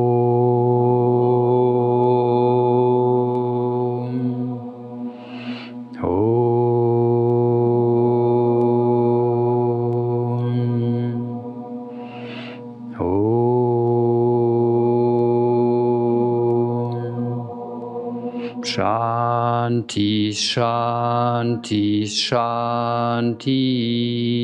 Om Frieden, Frieden, Frieden. Om Bolo Satguru Shivananda Maharaj Ki. Ja, dann danke ich euch fürs Teilnehmen an der Rücken-Yoga-Stunde, für euer Engagement dabei. Wer es nochmal etwas vertiefen möchte, anhand eines Buches, ich habe dazu eins geschrieben, das heißt Yoga und der Rücken atmet auf, das gibt es hier im Shop und das ist eine genaue Übungsanleitung zu solchen Übungen. Dann erstmal einen schönen Abend und erstmal einen guten Appetit auch beim Essen. Dankeschön.